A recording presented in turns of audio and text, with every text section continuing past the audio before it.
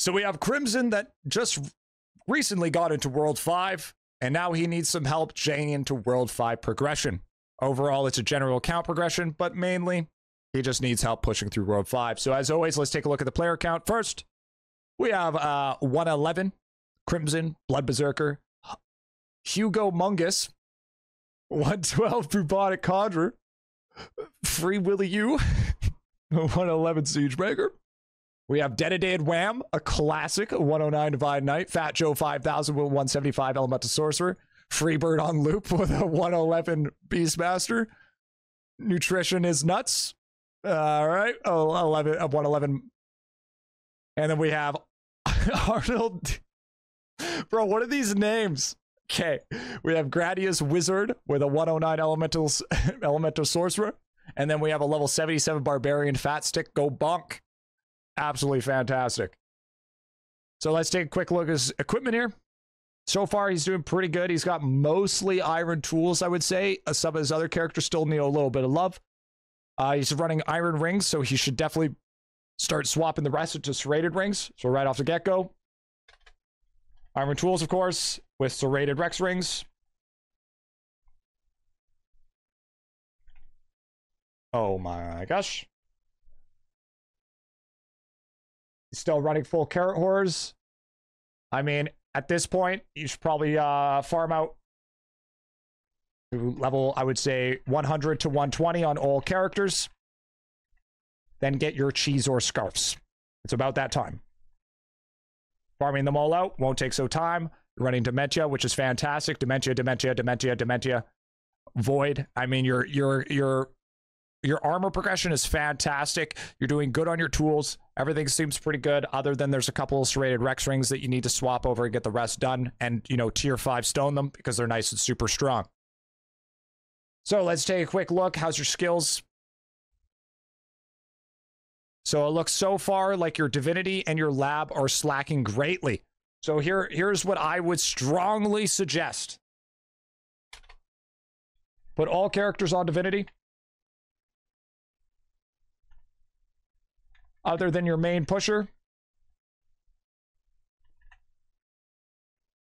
to unlock Goat God and get level 40 Divinity. Now, the reason why you want level 40 Divinity is simply for one thing and one thing only. It unlocks a thing called Tranqui, which means you can gain Divinity XP without requiring to be on Divinity. So this just overall helps push that. And also unlocking the goat god will help you level up because my biggest problem I see is you need your lab and your divinity grind done. So with that, you need to run goat god on all your characters except for your main pusher, whoever you're doing it for that reason, because I, you still want to play the game realistically, right?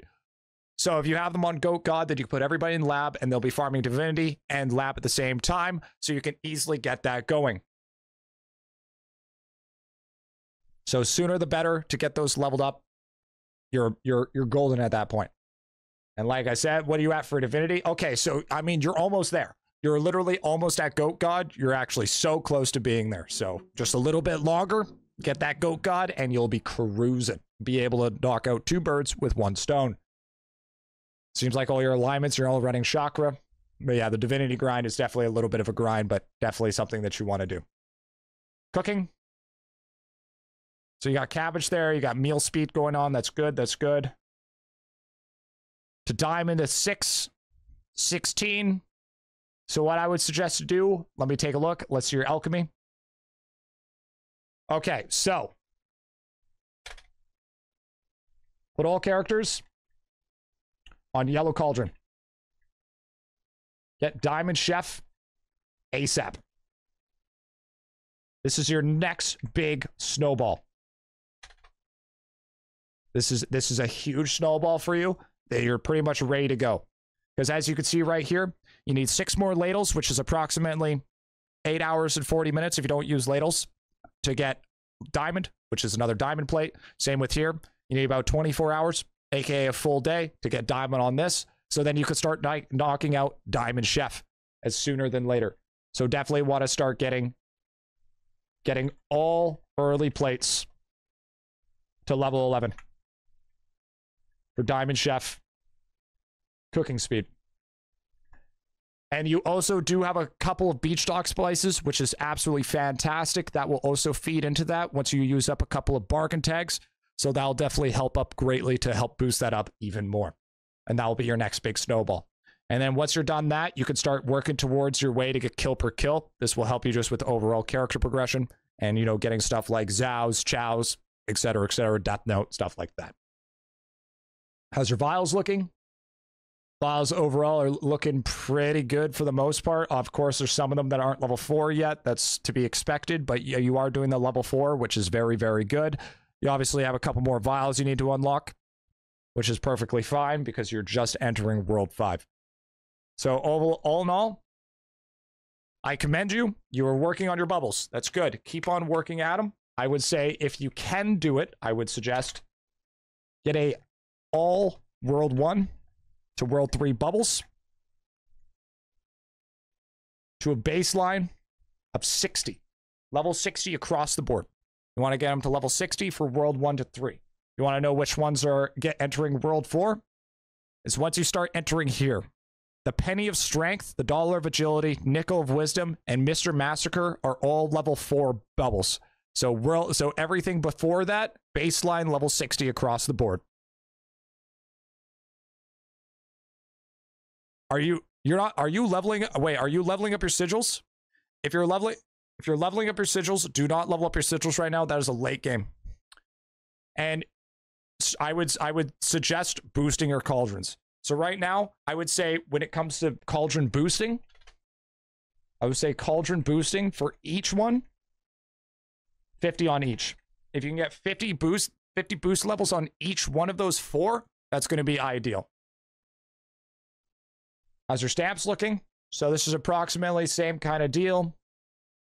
There's a lot of them that yeah you can get pretty easily. You haven't done your seven figure. Okay, so I would suggest also unlocking more stamps. Unlocking more stamps. Start thinking about doing 7 million figure follower quest. Yes, max boost for cauldrons is 170. And then, you know, once you start getting that going with your 7 million figure follower quest, get those stamps unlocked, I would say you want a baseline stamp level 3000. 3000, not 3000K, that's too much. 3000 for a baseline stamp level. This is going to make your life easier. But with you, it's a little bit different. I would prioritize skilling over combat at this point in time because you you you are you're good enough to get into World Five, so that means you're good enough to start getting some boosts. You're going to get mecha boosts in World Five due to sailing, so you don't need you don't need to work so hard on combat, but now you need to start hard focusing on skilling because realistically, this is where you're going to start working on 3D prints. This is where you're going to start working on getting your your all your boosts going. Keys award keys per day.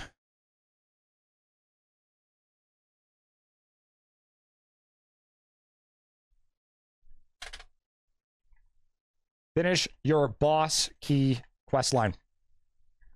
So it shows here that you have nine keys done for Chizoar, but you only have seven keys done for Efaunt, and you have 10 keys for Forest Villa. You want to make sure that you finish off that quest line because that's very important. You want to get your daily keys, especially since you're going to be on the Chizoar Scarf farm. So getting that one extra key a day actually is huge, super massive. Okay. Now, probably at this point as well, you need to start working on your anvil. So, what I would suggest is while you're at it,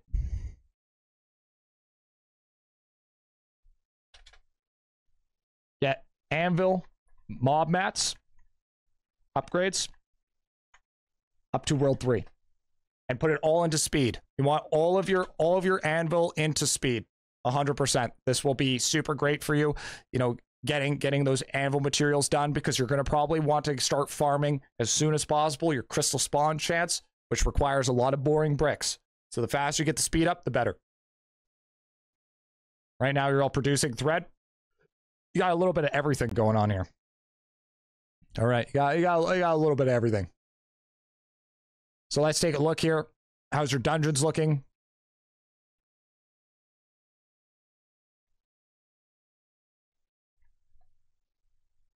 So I noticed that you bought some tenacity rings. Now, tenacity rings are good, but I strongly do not suggest to farm them out yet because you do not have maxed out on your Flurbo shop.